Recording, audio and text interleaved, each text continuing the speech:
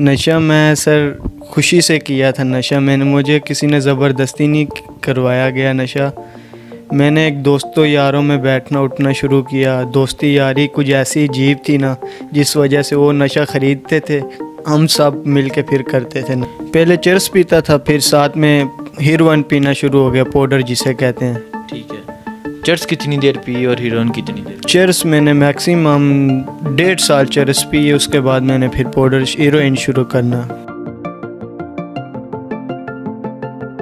पाकिस्तान के बाहर UK America Canada से भी पेशेंट्स आते हैं और वो यहाँ पे इतने ही खुश होते हैं चूँकि वो यहाँ पे उनको घर जैसा माहौल फराहम किया जाता है।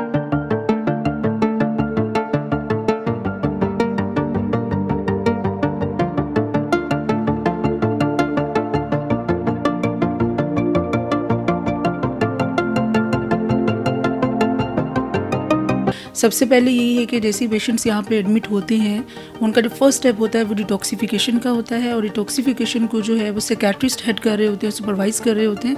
और हमारे जो सेकेट्री सेकेट्रिस्ट हैं डॉक्टर अज़र सैयद अजहर अली काजमी तो वो हेड करते हैं डिटॉक्सिफिकेशन को। डिटॉक्सिफिकेशन का प्रोसेस ये होता है कि आप मेडिकेशन के थ्रू विड्रॉल सिम्टम्स को कंट्रोल कर रहे कर रहे होते हैं। सामने मैं हूँ स्नैन आप नया पाकिस्तान। नाजरीन, इस वक्त मैं मौजूद हूँ the new life D help centre Islamabad में।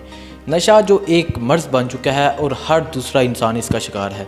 इसकी केयर के लिए और जो लोग नशे के आदि बन चुके होते हैं, उसे चटकारा पाने के लिए the new life rehab center Islamabad में मौजूद है।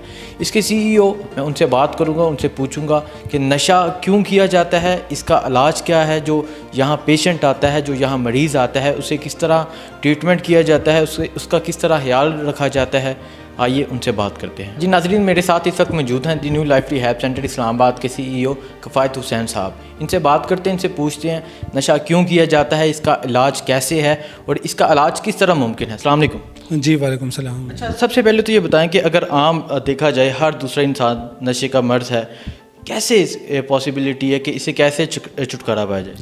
बेसिकली uh, uh, मैं पहले तो ये बताऊँगा कि नशा जो है ना बहुत ही हर, हर किस्म का नशा बहुत ही ख़तरनाक है ठीक है? और जो इसका छुटकारा है वो इलाज के तरीक़ाकार से ही मुमकिन है। उसमें जो नशे के जो एक मरीज़ का इलाज किया जाता है सबसे पहले तो उनका ड्रग स्क्रीनिंग प्रोफ़ाइल होता है जिसमें हम ये देखते हैं कि आप मरीज़ का जो है ना, उनका कौन से ड्रग्स ले रहा है और उसकी कितनी मकदार में उसकी बॉडी में केमिकल्स है और उनको किन मेडिकेशंस की ज़रूरत है। उसके बाद हमारे जो कंसल्टेंट साइकेट्रिस्ट है डॉक्टर सैयद अली अज़हर काजमी साहब, वो उनका प्रॉपर चेकअप करते हैं। मेडिकेशन स्टार्ट करते हैं। मेडिकेशन तकरीबन शुरू से लेकर ट्वेंटी डेज़ तक जो है ना, इनकी मेडिकेशन होती है, जिसमें इनका पेन फ्री डिटॉक्स होता है। ट्वेंटी वन डेज़ के बाद इनका फिर प्रॉपर जो है ना साइकोलॉजिकली ट्रीटमेंट स्टार्ट हो जाता है, जिसमें जो है ना साइकोलॉजिस्ट होते हैं प्रॉपर इनकी ग्रुप थेरेपी वन और वन सेशंस इसमें अनयूजल सेशंस वगैरह करते हैं और उनको नफसियाती तौर पे स्ट्रॉन्ग बनाते हैं। इसके साथ साथ एक आलमी दीन भी 24 फोर बाई सेवन मौजूद होते हैं, जिसमें इनको पाँच वक्त की नमाज़ एक्सरसाइज जिम वगैरह वो करवाया जाता है। जिसमें सुबह के टाइम पे लेक्चर से पहले इनको सूरा रहमान पढ़ाया जाता है और उनको इस चीज़ की तरफ़ जो है ना दुनिया की तरफ़ रागब किया जाता है। इसके साथ साथ हमारे पास जो 24 फोर बाई सेवन डॉक्टर्स मौजूद होते हैं चूँकि इस इलाज में आपके पास 24 घंटे डॉक्टर का होना बड़ा ज़रूरी होता है। तो यहाँ पे इनका प्रॉपर जो है ना इलाज का जो तरीक़ाकार है उसमें प्रॉपर इनका आ, मतलब ख्याल रखा जाता है जिसमें हर तरह की फ़ैसिलिटीज़ इनको हम देते हैं। मतलब हमारे पास यहाँ देखने में आया कि ये बहुत नीट एंड क्लीन जैसे कि मेरा कैमरा मैन दिखा सकते हैं ये बैक का व्यू। और जो बेड लगे हैं बहुत नीट एंड क्लीन यहाँ सेटअप है। और इस तरह का सेटअप आम घरों में भी नहीं मौजूद होता, जो आपने इन्हें दिया हुआ है। तो क्या ये यहाँ कुछ गड़बड़ नहीं करते? नहीं, बल्कि ये बहुत ही खुश रहते हैं और अच्छे तरीके से रहते हैं। मैं आपको थोड़ा सा ये भी बता दूँ कि हमारे पास अल्हम्दुलिल्लाह पाकिस्तान क्या पाकिस्तान के बाहर यूके अमेरिका, कनाडा से भी पेशेंट्स आते हैं और वो यहाँ पे इतने ही खुश होते हैं, चूँकि यहाँ पे उनको घर जैसा माहौल फराहम किया जाता है। यहाँ पे सिर्फ़ और सिर्फ़ जो है ना, सिर्फ़ मोबाइल और इंटरनेट की हम इनको फैसिलिटीज़ नहीं देते, न किसी किस्म की नस्वार, सिरगिट यहाँ पे अलाउ होता है। चूँकि इतनी अच्छी मेडिकेशन दी जाती है, इतनी अच्छी काउंसलिंग की जाती है, इतनी इज़्ज़त के तरीके से जो इनको रिस्पेक्ट दी जाती है और सुबह से लेकर शाम तक इनको हम बिज़ी रखते हैं। तो यहाँ पे इवन के अकोमोडेशन से लेके डॉक्टर से लेके फ़ूड से लेके, हर लिहाज से अल्हम्दुलिल्लाह सारे पेशेंट सेटिस्फाइड होते हैं। अभी जो आपके पास मरीज़ आते हैं, आम रूटीन में जो ज़्यादा मरीज़ आते हैं, वो किस कौन सा नशा करते हैं? और कौन सा नशा आजकल ज़्यादा पाया जा रहा है? आ, वैसे तो ये स्टार्ट जो है ना ये स्मोकिंग से शुरू होता है और तकरीबन जो इस टाइम जो एडिक्शन है वो हीरोइन है चर्स है शराब है आइस है। इस टाइम जो टॉप पे है, वो आइस है और आइस ऐसी ख़तरनाक मर्ज़ है ऐसी ऐसी ख़तरनाक बीमारी है, जिससे जो है ना, एक दफ़ा यूज़ करने से ही पेशेंट एडिक्ट हो जाता है। आइस की वजह से पेशेंट में हिलूसिनेशन डिलूजन्स आ जाते हैं। इवन के पिछले दिनों आपने कराची का एक वाक़ सुना होगा कि वाइफ ने अपने हस्बैंड को कत्ल कर दिया। बाद में वो हंस रही थी, वो आप वीडियो भी देख सकते हैं। वाइफ ने अपने हस्बैंड को कत्ल कर दिया, उसके बाद वो हंस रही है। देखें जो एक नशा है, वो कहाँ से शुरू होता है? उसे किस तरह ख़त्म किया जाता है? और आइस का अपने का नशा एडिक्ट हो जाता है मीन्स वो आदि हो जाता है। क्या आइस का नशा बाकी नश, नशों की नस्बत ये ज़्यादा इफ़ेक्ट करता जी आइस जो है ना सबसे ज़्यादा ख़तरनाक ड्रग्स है क्योंकि ये दिनों में महीनों में पेशेंट्स को तबाह कर देता है। इसकी रीज़न आप देख सकते हैं कि आप यूट्यूब पे वीडियो भी देख सकते हैं कि जो आइस है ये ख़ास तौर पे एक्सपायर मेडिसिन से निकाली जा रही है। और आपको पता होगा कि हम अगर कोई मेडिसिन एक्सपायर हो जाए तो उनको हम कभी भी नहीं लेते। तो इससे एक्सपायर मेडिसिन से मिथ एम्फेटामिन का जो फार्मूला है, वो उनसे निकाला जाता है और उसको यूज़ किया जाता है, जिसकी वजह से मरीज़ दिनों में ही इनकी जो जो जो सोच होती है, वो नेगेटिव होना शुरू हो जाती है। ख़ास तौर पे ये जो नेगेटिव सोच होती है, ये इनके घर से स्टार्ट होती है, जिसके जिसलिए बहन के ऊपर शक करना माँ बाप के ऊपर शक करना, बीवी के ऊपर शक करना, और ये इनके ऊपर एक आवाज़ आती है और ये उसी टाइम जो है ना, ये सोचते हैं कि मुझे ये बंदा नुकसान पहुँचा देगा और ये उनको ख़त्म कर देते हैं। है अच्छा ये बताएँ कि आपने जैसे कहा कि यहाँ ये जो रिहेबिलिटेशन सेंटर है, यहाँ जो उनका इलाज किया जाता है, वो हमने देखा।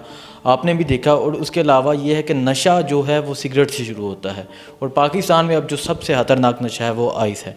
इसके अलावा ये बताएँ कि इसके अलावा क्या एक्टिविटीज़ होती हैं? कौन से मरीज़ आते हैं आपके पास? कहाँ से आते हैं?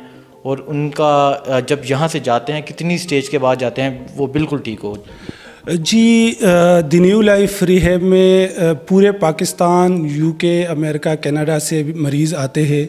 और यहाँ पे जो इलाज का यहाँ पे तरीक़ाकार है, शुरू से लेके एंड तक ये एक, दो से तीन प्रोसेस से गुज़रना होता है। शुरू में डिटॉक्सिफिकेशन होती है, उसके बाद रिहेबलीटेशन होती है। शुरू में दवाइयों का इस्तेमाल होता है। दवाइयों के बाद जो नफसियाती तौर पे इनके जो माहिर नफसियात होते हैं, वो इनको प्रॉपर काउंसलिंग के ज़रिए इनको इस चीज़ से छुटकारा दिलाते हैं। इसके बाद जो है ना एक्सरसाइज आ जाती है और आलमी दिन आ जाता है। इसमें मिनिमम मेडिकेशन के बाद इनको बिल्कुल मेडिकेशन कितना टाइम लगता है जब वो बिल्कुल ठीक हो जी बिल्कुल ये मेडिकेशन फ्री करके इनका जो तकरीबन जो स्टैंडर्ड टाइम होता है वो 90 से 120 दिन का लग जाता है जिसमें हम कोशिश करते हैं कि 45 दिन तक इनको मेडिकेशन दें चूँकि साइकेट्रिस्ट एडवाइस पे होता है। और इसके बाद जो है ना इनको मोटिवेशन के साथ इनको जो थेरेपीज़ है इनको इतना मोटिवेट किया जाए ताकि इनको काउंसलिंग हो और ये इस अपनी नेचुरल नींद हो सके तो तब जाके ये नब्बे से एक 120 दिन लग जाते हैं। जो आपके पास पेशेंट आते हैं, किस एज के आते हैं? ज़्यादा जो यहाँ पेशेंट है, वो किस एज के? इस टाइम जो पेशेंट है, हमारे पास वो 14 एज से शुरू होकर तकरीबन 40 तक जो है ना, इस टाइम पेशेंट मौजूद है। और ज़्यादातर जो हमने देखा गया है, जो यंग जनरेशन है, वो ख़ास तौर पे आइस का इस्तेमाल कर रहे हैं। क्योंकि ये यूनिवर्सिटीज़ में कॉलेजेस में इनका बहुत ज़्यादा आम है तो यंग जनरेशन आइस का जो है ना, वो हमारे पास आ रही है ये बताएँ, ये देखने में आता है, जो यूनिवर्सिटी में बच्चे जाते हैं, वो बाहर छुप के माँ बाप से छुप के नशा करते हैं और माँ बाप को फील नहीं होने देते। कभी कभी माँ बाप हाइट माँ बाप तो माँ बाप ये तो शक हो जाता है। तो क्या करना चाहिए माँ बाप को फिर? मैं तो तमाम फैमिलीज़ को यही मशवरा दूँगा कि अगर खुदा न खास्ता आपके बच्चे का उठना, बैठना ऐसे लोगों के साथ है, अगर आपको शक हो जाए तो उनका फ़ौर जो है ना ड्रग स्क्रीनिंग प्रोफ़ाइल होता है, वो किसी भी अथेंटिक लेबॉर्ट्री से उनका टेस्ट करवाना टेस्ट करवाए। अगर वो शुरू स्टेज में है या स्मोकिंग कर रहा है तो उनको कंसल्टेंट साइकेट्रिस्ट के पास या माहिर नफ्सियात के पास अर्ली स्टेज में ले जाया जा सकता है, ताकि उसको एडमिशन के बग़ैर ही उसका इलाज मुमकिन हो सके। क्योंकि शुरू के स्टेज में इलाज जो है ना आउटडोर पे मुमकिन होता है, लेकिन जब पेशेंट अडिक्ट हो जाता है तो उसके लिए फिर रिहेबिलिटेशन का होना बहुत ज़रूरी होता है। जो लोग नशा करते हैं अक्सर देखा जाता है कॉलेजेस में जो लड़के लड़कियाँ जाते हैं यूनिवर्सिटीज़ में, नशे के, नशा ज़्यादा वो आजकल नौजवान जो नस्ल है वो करती है। नशे को कैसे रोका जा सकता है? माँ बाप को क्या करना चाहिए? अगर देखा जाए तो हमारा अपना जो एक अवेयरनेस प्रोग्राम है, हम मुख्तलिफ़ टी प्रोग्राम में जाके मतलब शोज़ करते हैं।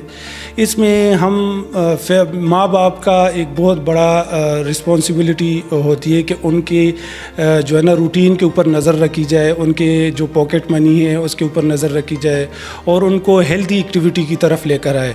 मतलब अगर हेल्दी एक्टिविटी नहीं होगी तो इंसान नशे की तरफ़ डिप्रेशन की तरफ़ जा सकता है। तो इस इसमें मैं मशवरा यही दूँगा कि जितना भी हो सके जैसे कि स्टार्ट स्मोकिंग से होता है तो उसी से ही ये मतलब आगे ना बढ़े स्मोकिंग से ही आगे ना बढ़े और किसी किस्म का नशा ना करे। तो फैमिली को अपने बच्चों के ऊपर ख़ास तौर पे ये जो 18 एजिस जो लड़के होते हैं, इनको ख़ास तौर पे नज़र रखनी चाहिए, क्योंकि यही टाइम होता है फिसलने का। नशा किया क्यों जाता है? बेसिकली अगर देखा जाए ना तो नशा जो आपने देख, हमारा जो अपना हॉस्पिटल है मतलब हमारा जो एक्सपीरियंस है, इसमें सुकून के लिए लोग नशा करते हैं। कुछ लोग क्या वाकई नशा करके सुकून मिलता है? जी डेफिनेटली बहुत से लोग चूँकि सुकून के लिए करते हैं, कुछ लोग जो है ना जो डॉक्टर्स है, जो प्रोफेशनल्स है, वो नींद ना आए, इस वजह से चर्स यूज़ करते हैं, ताकि जो है ना, हम ज़्यादा पढ़ाई कर सके।